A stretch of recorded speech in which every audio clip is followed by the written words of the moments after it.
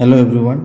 Today in this video I am going to discuss about pulse code modulation and differential pulse code modulation. Okay. To perform this experiment we need Scientech kit which is designed for PCM, DPCM and CVSD modulator and demodulator. Okay. And we need DSO which is digital storage oscilloscope. This one is digital storage oscilloscope or DSO and connecting wire or DSO probe. These are the probe we used to perform this experiment and these are the connecting wire. Okay. So this is the kit where we just perform the experiment of pulse code modulator first and demodulator the PCM signal.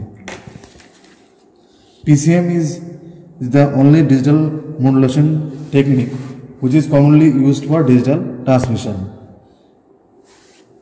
PCM or pulse code modulation is a digital coding signal technique in which the pulses of the PCM signal is fixed length and amplitude.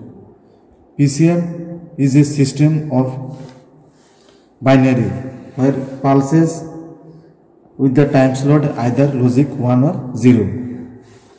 Okay. You see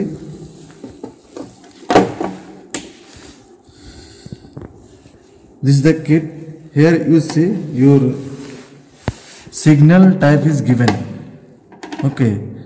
From where we generate the different types of signal sine square triangular arbitrary. So this is the signal generator where we just apply the miss not generator actually signal type. From here we just different types of, apply the different types of signal. So we apply the sine from here and this is the select key to select the uh, different signal types different types of signal. And then you see here one led glow led is given. Actually um, those leds are glows means these are connected for this uh, configuration. We are going to perform uh, operation or experiment on pcm so you see all the uh, LED where PCM is operation then it is glowing okay. So first this is your PCM uh, configuration circuit. Here the input signal directly applied to, to your sample and hold circuit which is a circuit periodically sample the analog input signal and convert into samples of multi-level PAM signal and then the output of the sample and hold circuit directly applied to your ADC or analog to digital converter and then the sample of the analog to digital uh, converter directly applied to parallel to serial converter. Actually AD converter convert the sample of the samples to parallel to serial converter which convert the binary data in the parallel data to serial digital pulses. And then we pass the signal through different channel. These are the channel. You see attenuator is given then amplifier is used to amplify the signal and then low pass filter and then noise. Three different technique are is channel selection is given to pass the channel. And here your uh, demodulator section is given. You see in the demodulator side whatever the signal we receive from this channel it is directly applied to serial to parallel converter. Actually the output of PCM is connected to serial to parallel converter which convert the pulses from PCM to parallel PCM codes. And then the output of this serial to parallel converter is applied to DAC means digital to analog converter which convert the parallel PCM codes in, into a multi-level signals and then we pass the output of the DSO uh, sorry digital to analog converter through this low pass filter. You see there is one low pass filter is given to uh, to got using low pass filter we just remove the noise from the signal and whatever the output we got the output side of this low pass filter this is your demodulated output of the modulated signal. So to start this experiment first switch on this. And you see? Here. Uh, sine wave first select sine wave and then it is automatically low here you see. And here the signal frequency is given. Sine type means signal type is sine wave and this frequency corresponding frequency 50 hertz. And these are the and these are the sampling frequency. Different sampling frequency rate or level is given here. Actually this is this one is your 500 hertz then 1 kilohertz then 1.5 kilohertz then 2 kilohertz then 3 kilohertz. Okay. So first using DSO probe we just check the sinusoidal signal. You see?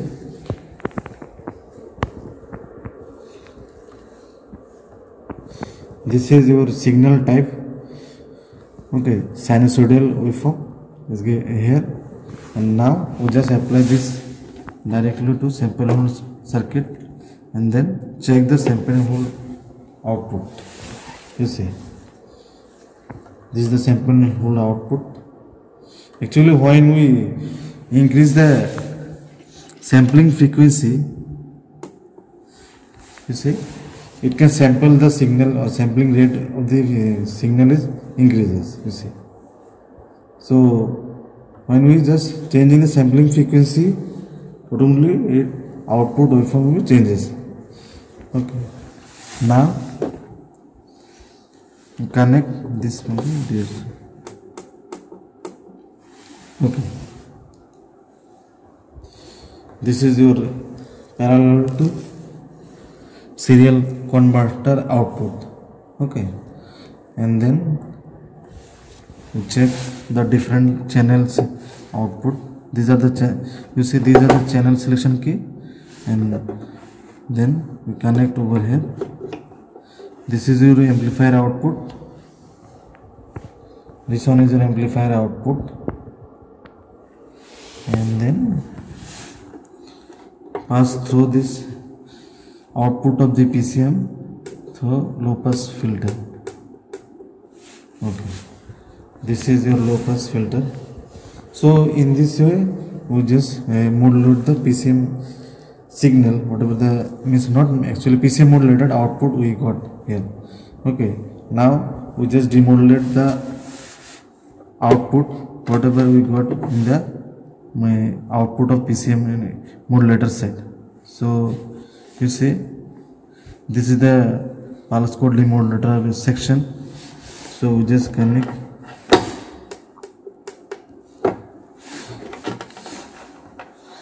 you see whatever the signal we got here same type of signal we got here okay then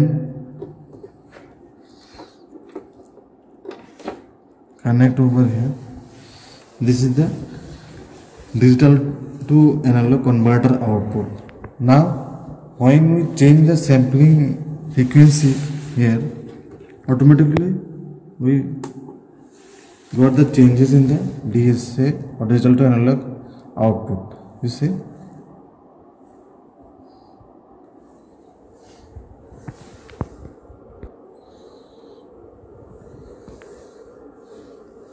Okay. Now you see when we change the uh, sampling frequency right we will see will actually got the output input whatever we send from the input set it's nearer to input. Okay. So using by increasing the sampling frequency we'll get back the original signal. Okay. So then pass uh, this output through a low pass filter. This is the low pass filter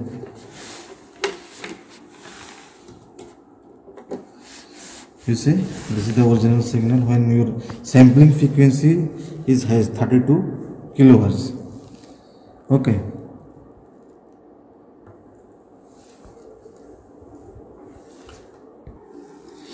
in the calculation table you see first we check the calculation table for sample and holds output so in the table you will first write signal type which is sinusoidal and then the frequency of the input signal.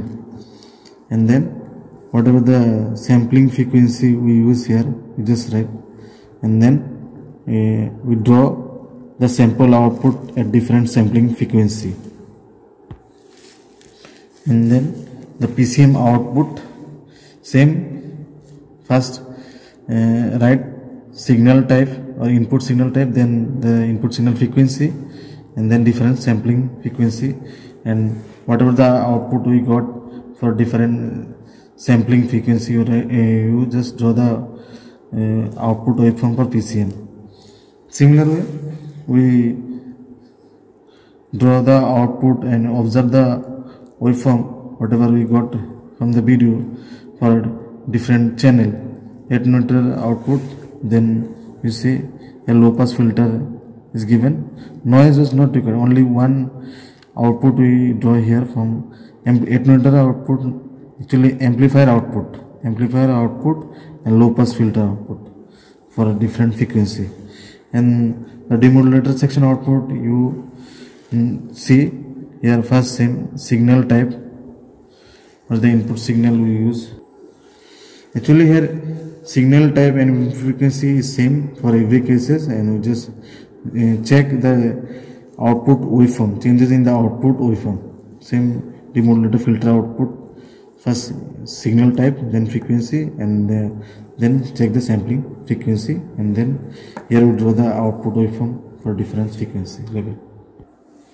So first you see here your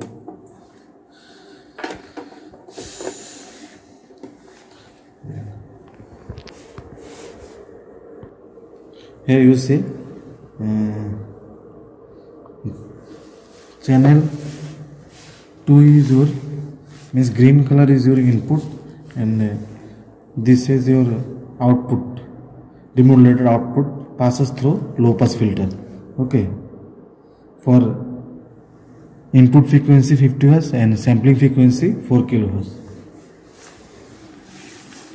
this is your 4 kilohertz uh, sampling frequency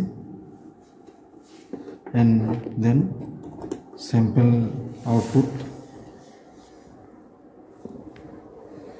and this is the sample output of the sample and hold circuit and then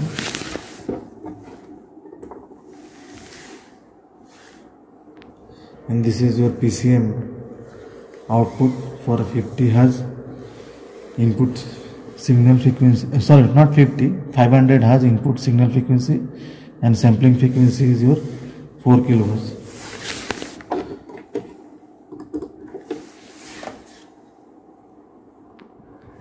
This one is your 8 meter output.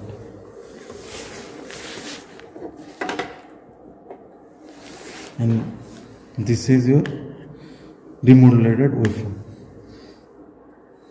In this way we just changes the sampling frequency and measure the output of every stage now change the frequency sampling frequency to 8 kilohertz and then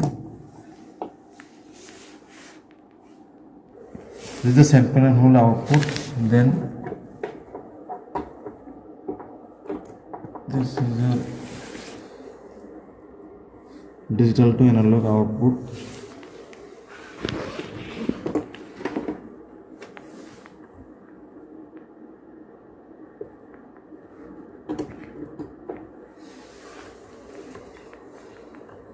and this is your 8 meter means amplifier output.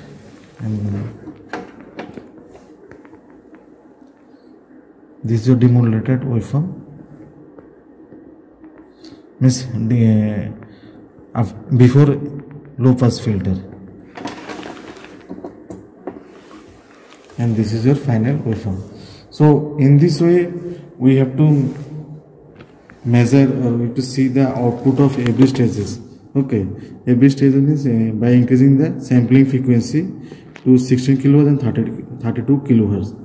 So in this way you have to see the output and output of every sample hold circuit and PCM waveform after uh, demodulator waveform before the low pass filter.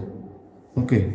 So in this way you have to see the output of the modulator side as well as demodulator side okay. This is up to all for this experiment. Thank you